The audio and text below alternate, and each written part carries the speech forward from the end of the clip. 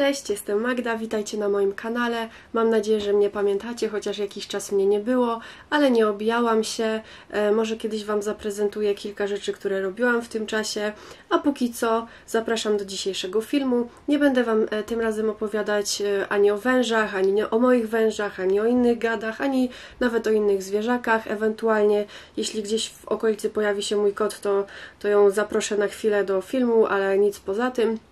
E, dzisiaj chciałabym się skupić na temacie tatuaży, e, mianowicie e, chciałabym Wam powiedzieć, dlaczego według mnie nie warto robić małych tatuaży, drobnych i delikatnych tatuaży, a jeżeli już naprawdę chcecie taki tatuaż, to co warto wiedzieć? E, ponieważ kiedy ja robiłam swój pierwszy, taki nazwijmy to mniejszy i delikatny tatuaż, bo, na, bo mój pierwszy tatuaż był dość duży i na pewno nie był delikatny. E, natomiast e, jednym z takich, o ile nie jedynym w sumie, takim właśnie mniejszym i delikatnym tatuażem jest ten napis, który mam tutaj przy obojczyku. To kiedyś był napis, który dalej wiele dla mnie znaczy, natomiast obecnie jest prawie e, nieczytelny.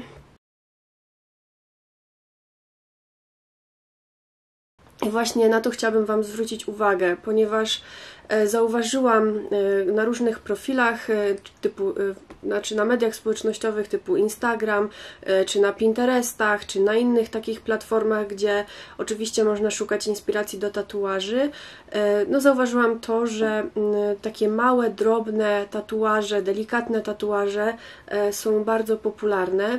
Oczywiście te tatuaże w większości wypadków są mega kobiece i i uważam, że wyglądają świetnie właśnie takie malutkie, może gdzieś kwiatek przy, obojczy, przy nadgarstku, albo gdzieś właśnie przy obojczyku, albo wiadomo, w wielu różnych miejscach taki drobny e, tatuaż może stanowić taki pikantny akcent. Natomiast jest to bardzo fajna ozdoba na jakiś czas i stosunkowo bardzo krótki czas. Wiadomo, że to jest wszystko zależy od danej osoby, od jej skóry, od dbania o tatuaż. E, natomiast o, jest mój kot, więc skoro już jest, to Wam ją zaprezentuję, moją Zarusię.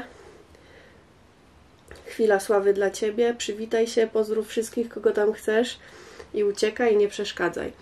E, w każdym razie, oczywiście to wszystko zależy od wielu czynników, natomiast prędzej czy później taki tatuaż na pewno stanie się mniej wyraźny, e, mniej czytelny i może się okazać, że zrobi się z niego w zasadzie plama w cudzysłowie, bo wiadomo, że gdzieś tam ten z grubsza kontur czy formę zachowa.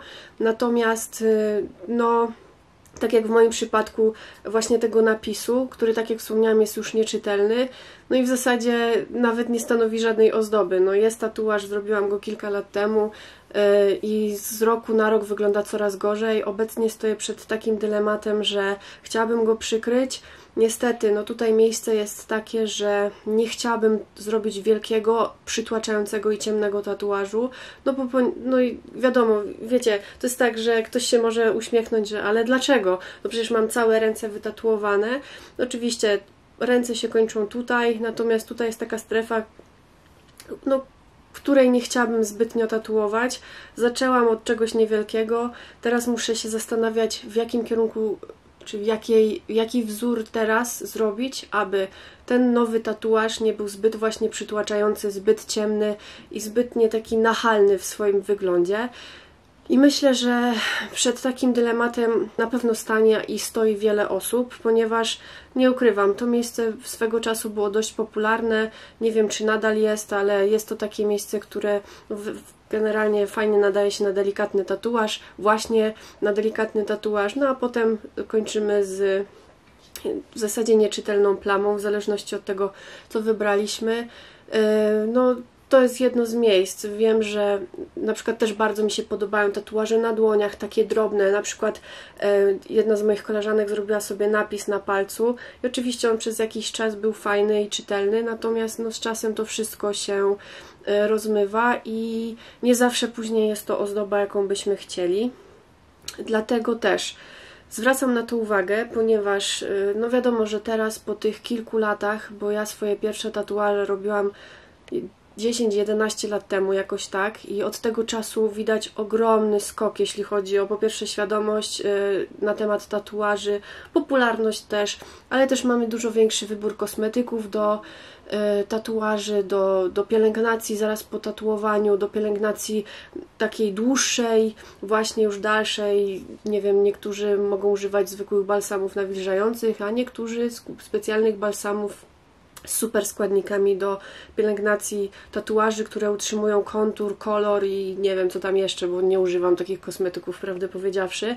Niespecjalnie się tym interesowałam. Nie neguję oczywiście takich kosmetyków, bo jakby nie wiem, może działają, może y, kiedyś będą jeszcze lepsze i będą jeszcze lepiej działać, więc w zasadzie nic nie ryzykujemy, może utratę trochę pieniędzy, ponieważ wydaje mi się, że tego typu produkty są droższe niż na przykład zwykły balsam nawilżający, a nie wiem, czy jest taki produkt dużo lepszy niż zwykły balsam nawilżający z Rossmana.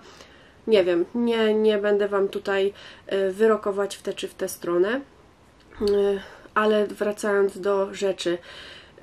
No tak jak mówię, te kilka lat temu ta świadomość tatuaży była mniejsza, też dużo mniej osób miało tatuaże i właśnie ten taki boom, który wtedy nastąpił, tak mi się wydaje, powoduje, że właśnie teraz jesteśmy w stanie ocenić, no, jakby zużycie tych tatuaży. No bo wiadomo, kiedyś takie tatuaże, które były robione, nie wiem, 20-30 lat temu, były też robione inną techniką, pewnie innym sprzętem, innymi tuszami.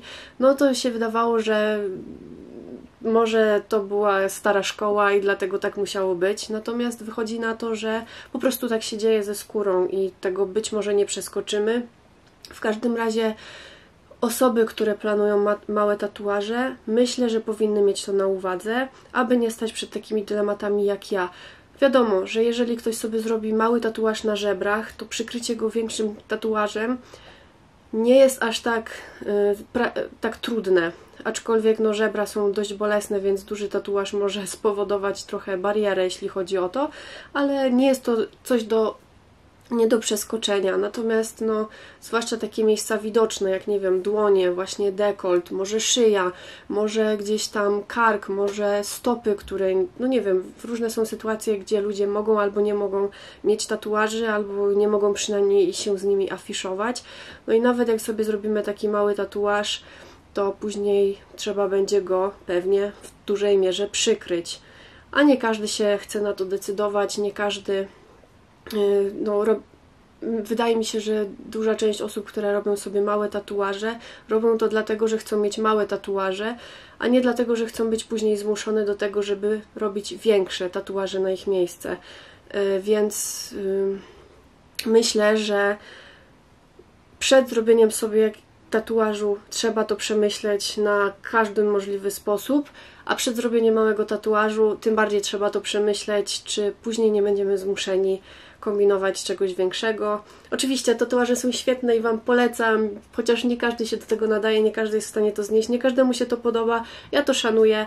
E, powiem Wam szczerze, jeszcze tak trochę odbiegając od tematu, bo na wielu forach, wielu e, stronach czy fanpage'ach związanych z tatuażami można spotkać się z komentarzami, że ktoś tam, e, czy z historiami, że ktoś się spotkał z negatywnym odbiorem tatuaży. Ja w zasadzie miałam tylko jeden negatywny odbiór, odbiór i to w mojej rodzinie, więc y, jakby się tym nie przejmuję, ale bardzo wiele razy zdarzało mi się, że ktoś na ulicy mnie zaczepiał, że mam fajne tatuaże i nigdy nie spotkałam, znaczy, o przepraszam, raz się spotkałam z taką negatywną reakcją, ale to po prostu pani podpuściła chyba swojego wnuczka, żeby jakoś niemiło za, za mną nakrzyczał, co było dla mnie po prostu to mnie tak zezłościło, nie dlatego, że ten młody człowiek to za mną, bo on coś tam napisał brudas, czy coś w ten deseń, czy brudnopis, to jest nieważne, jakby nie było to aż tak obraźliwe, żeby musiała się tym przejmować, ale po prostu zdenerwowało mnie to o tyle, że ta pani przelewała swoje opinie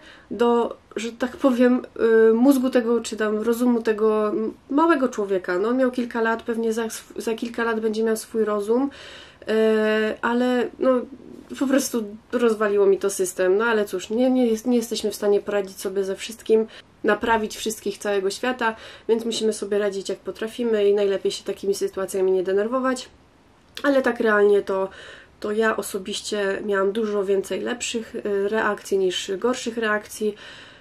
Więc y, nie jest tak źle, jakby się mogło wydawać, jeśli chodzi o reakcję, aczkolwiek być może za plecami ktoś tam sobie coś powiedział, ale tym się tym bardziej nie warto przejmować.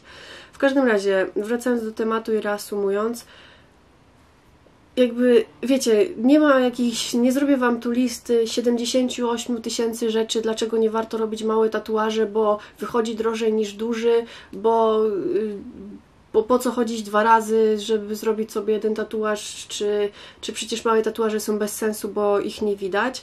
Wiadomo, każdy sobie w swojej głowie ocenia i każdy sobie robi taki tatuaż, jak mu pasuje, ale tak jak wspomniałam, przede wszystkim chciałabym Wam zwrócić uwagę na to, że ten tatuaż z czasem w ogromnym procencie szans może po prostu zrobić się brzydkim tatuażem. I oczywiście, no, niektórzy oczywiście mogą sobie zrobić, a pochodzę sobie z małym, jak mi się znudzi, to przykryję czymś większym. Żaden problem, ale nawet jeżeli podejdziecie do tego w ten sposób, to pamiętajcie, że nie każde miejsce będzie się nadawało do tego, żeby przykryć tym większym tatuażem. Na przykład, tak jak w moim przypadku. Oczywiście, ja wiem, że są ludzie, no przecież bardzo popularne są takie wielkie tatuaże tutaj przez całe dekolt. I zarówno u kobiet, jak i u mężczyzn wygląda to bardzo fajnie, ale no tak jak na przykład, mimo że ja mam te tatuaże, mam na nogach tatuaże, tutaj po bokach, małe na plecach, nieważne, e, w każdym razie no ja tu osobiście jest dla mnie strefa, którą chciałabym w miarę w czystości zachować w miarę taką e, przejrzystą, więc no, mam bardzo, bardzo duży dylemat e, odnośnie tego, co tutaj zrobić, żeby wyglądało to dobrze. Generalnie może będziecie mieli jakiś fajny pomysł, może coś mi podpowiecie. E, od razu mówię, żadne piórka ani motylki, zresztą tutaj jest taki mały motyleczek, odpadają. E, chciałabym zrobić coś sensownego. Mm, miałam pewien pomysł, ale nie wiem, czy on się pokrywa z moją ideą tego, że tutaj ma być przejrzyście, ponieważ yy, jest to taki no, duży projekt, więc być może z niego zrezygnuję, ale to wszystko przede mną. Na razie zostawiam sobie ten czas na zastanowienie i na poszukanie właśnie mm, czy inspiracji, czy pomysłów, czy po prostu projektów, które mogą mi posłużyć jako wzór, ponieważ yy, jakby też y, chciałabym zwrócić uwagę na to, tak już też poza konkursem, że warto szukać własnych wzorów i kopiowanie czyichś pomysłów, czyich, czyichś prac, jeden do jeden zwłaszcza, no to nie jest fajne. Myślę, że tatuaż jest taką rzeczą, która jest na tyle indywidualna i po prostu no, daje nieskończenie wiele możliwości, bo nawet jak przeglądam czasami strony internetowe e, właśnie z wzorami tatuaży, to po prostu jak widzę, co ludzie potrafią sobie wytatuować, to, to jest nie do wiary, że mają takie pomysły i w, w ogromnej większości są to naprawdę świetne pomysły, więc jakby polecam Wam to, żebyście też szli we własnym kierunku. Oczywiście, no też mi możecie powiedzieć, a zwierzęta żadna oryginalność, aczkolwiek uważam, że na przykład, nie wiem, foczka może nie jest jakoś tam szopeł, wąż, kocham węże, to już wiecie. No i takie, no może nie jest to jakoś najbardziej oryginalne, ale oddaje też to, co uwielbiam, a zwierzęta kocham od zawsze i po prostu gdzieś tam, no zawsze były bliskie mojemu sercu i chociaż prawdę powiedziawszy, to jakbym mogła, to mi się wytatuowała cała węże, ale to trochę nie przystoi. Mam jednego, wystarczy, chociaż myślę nad kolejnym, ale to już jest tam Y, takie powiedzmy sobie rozkminianko. Y, tak czy siak, chyba się już nagadałam. Mam nadzieję, że w tym dość długim filmie, bo ile on trwa, a nawet nie jest tak źle. Y, mam nadzieję, że udało mi się troszeczkę zwrócić Wam naszą, Waszą uwagę e, na ten aspekt, być może o którym byście nie pomyśleli, a w przyszłości miałoby to swoje konsekwencje. To nie są takie konsekwencje oczywiście, e, których nie da się obejść albo mm, które są nie do przeskoczenia. Natomiast jeżeli już teraz będziecie tego bardziej świadomi, myślę, że e, jest to jakby dla każdego z Was najbardziej fair, jest to, y, no myślę, że mogą, może, mogą Wam się przydać te informacje. Właśnie takie, taka moja drobna uwaga na temat tego, y, dlaczego w cudzysłowiu nie warto sobie robić małych tatuaży. Oczywiście róbcie co chcecie, ja jestem jak najbardziej za. Im więcej wytatuowanych osób, tym lepiej, tym świat będzie ciekawszy, może bardziej kolorowy, zwłaszcza jak lubicie czarno-białe tatuaże, to będzie turbo kolorowo. E, tak czy siak, mam nadzieję, że film Wam się podobał i przydał. Powiedzcie mi, dajcie znać w komentarzach, czy mam robić więcej kontentu tatuażowego. Co prawda nie jestem jakimś turboznawcą i nie będę się tu chciała wymądrzeć nie wiadomo na jakie tematy. Natomiast jeśli chodzi o tatuaże, to jest też jedna z moich zajawek mm, i, i gdybym mogła, to bym miała ich dużo więcej, może z czasem. Y, znaczy i tak mogę, ale jakoś tam rozsądek mnie jeszcze wstrzymuje.